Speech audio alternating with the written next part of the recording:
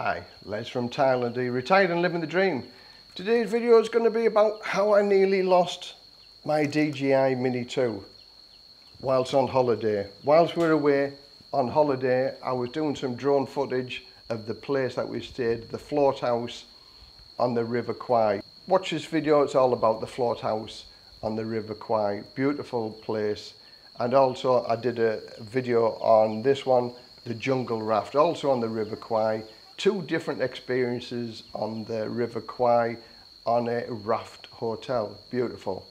In the background here, I'll put some drone footage that I got whilst we were on the River Kwai.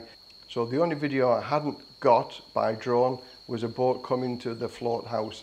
So on the last morning before we were due to go, we've seen a boat coming to arrive. So I think an ideal opportunity to be able to get a drone footage of this boat coming in. So blue skies, one black cloud. I think ah, be okay. And the distance from where we were staying to the boat arriving was about 100 meters. So I took off, took the drone over the boat, was filming the boat arriving, and then next thing I felt little spots of rain. Locked up and this big black cloud got even bigger and blacker. So again, I had to bring the drone back because I, I didn't want the drone to be involved in getting a shower. So I headed back towards where we were 100 metres. That's all it was, was about 100 metres away from where the boat was, was coming into to berth. As I was flying the drone back towards me, the rain just got heavier and heavier.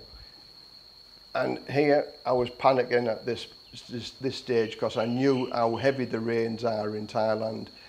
And as it landed, I just leant over it to stop the rain from getting onto it.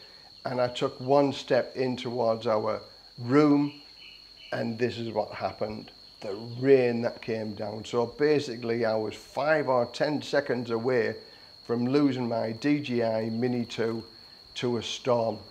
This rain would have certainly brought it down and it would have gone in the river and I would have lost it so I was lucky the drone survived and I lived to fly another day so thanks for watching Leave your comments down below. Have you had any narrow escapes with your DJI Mini 2 also?